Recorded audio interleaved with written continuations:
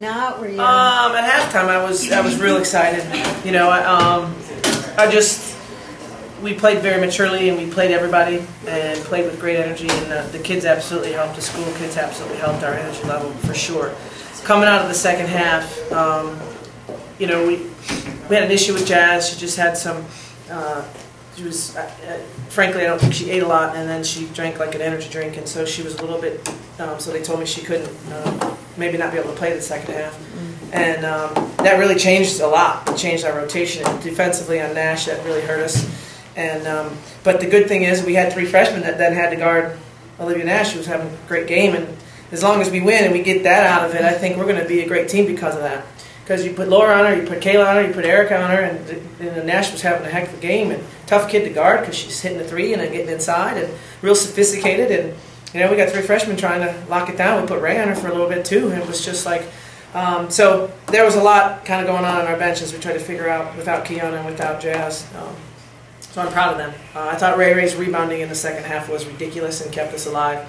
And then um, these two are very, very clutch. And so all the calls coming towards the end were for Monterey, Monterey, and they came through every single time. At least got to the free throw line or hit a big shot. So stuff we needed to have. Um, I'm, I'd be lying if I wouldn't say I'd rather have had this, this, the second half the same as the first. But we're going into a tough environment on Monday, and um, you know this is going to be very, very good for us. I'll tell you that Oakland he's a heck of a coach. He's a heck of a coach and made some great adjustments at halftime. And I kind of stayed stubborn and, and didn't change my defenses because of the lessons that we need. But he did a heck of a job. Could you have scripted it any better for Michelle to score the first point? yeah, that was pretty happy. I winked at her, winked at her mom in the stands, so that was a pretty good moment. I know you guys talked about it uh, quickly when you first walked in, but Maud and Ray, if you could just talk about having the kids there. I mean, uh, I think it took all one minute for the first defense chant to start up. I thought my ears were going to explode. Just talk about the boost that they gave you, and just to, to hear that to hear that roar every time you guys had a bucket, anytime you had a big rebound, anything. It was it was a pretty cool scene. Um, I know when we first got out there, it was like all I heard was 23, 20. It was like my own section, and I was just like, oh my goodness. It kind of, I guess it reminded me of my nephew, and like I just have this bond with him. So just having the kids out there cheering for me and cheering for the team, it, it just like I don't know. It, it made me really, really happy. I know the team. It made the team like seeing the posters and seeing Laura's Vamos Laura. Like that. That was just funny. So just having them out there and um, coach, I said before the game, like there's some girls out there looking for mentors, and and we wanted to be the tonight. Their mentors, their leaders, and um, I, we definitely. I, I want to go see them wherever, wherever elementary school. I definitely want to go see them. Um, it was exciting for me as well uh, I love giving back to kids. I'm actually doing an internship right now with giving back to kids, helping with homework and whatever I can do just to help them there. And um, one of my girls that I actually mentor at the program, which is called Branches, I saw her in the crowd on this and like towards our bench on the opposite side. So it just it just makes me feel good because you never know what type of impact you have on people in general, not even just kids. But um, I really appreciated it. Like I love our fans to death, but that was just a great environment.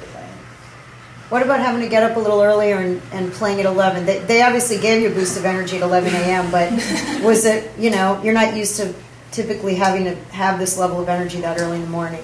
Is that? oh, you do? You do? Wrapping up practice right now. but um, yeah, I don't know. The kids, the kids definitely boosted it. Like mm-hmm. um, um, it was just fun just coming out there. I didn't know. I, I heard there's gonna be a lot of kids. I'm like, they're just you know overreacting, but it really was about 2,000 kids out there. Yeah. So, yeah.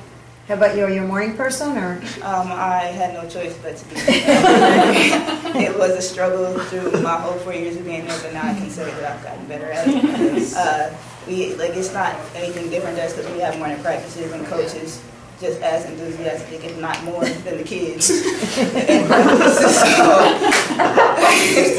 yeah. So um, I mean, just anything other than that, like I cramped up a little bit in the game, so I'm in the morning. I'm really not wanted to eat or drink, but it's very important to do all that. So I just had to get ready for that. What time are the morning practices usually? Uh, well, on a weekend. Give me a break. no, no, we have to be in the training room. She said they're fun. She said the word fun. It's fun. They are fun, but we have to be in the training room at 8:45 in the morning to do like uh, physical enhancement stuff to prevent injuries with our trainer and then we go watch film or then we go practice But I mean, there's nothing else I'd rather do on a Saturday or Sunday. They did go to their 8 a.m. classes. this Yes, I did. We loved it. Oh, wow. They Wow. did. They did. Yeah. They didn't have class excuses till nine, and they went. So Best class to go to. yeah. Any more questions? So, yeah, just the freshmen, I mean, just elaborate a little more on, on, you know, how you think they I, I, did. you know, they're really going to be very, very important. And um, you know, they. I I know there was one layup for Erica, and we just just hope that that went in. Can't believe it didn't go in, but she was really kind of jumpy. I thought Kayla hit a big uh, catch and finish kind of thing that was huge at a time where we really needed it. So they're not um, they're not green. Uh, I think they were a little excited. Laura's got a real sophistication to her game, and we played her in three, four different positions today for and her freshman in her first game, and so she gets a lot of playing time because she fills in every hole and is very very calm. But um, so I think they're going to really really help us. And Keon Harris's first half, and she's going to play with great energy. But you know this was a this was a close game. I mean we really had to work and grind and um, respond, and that's great.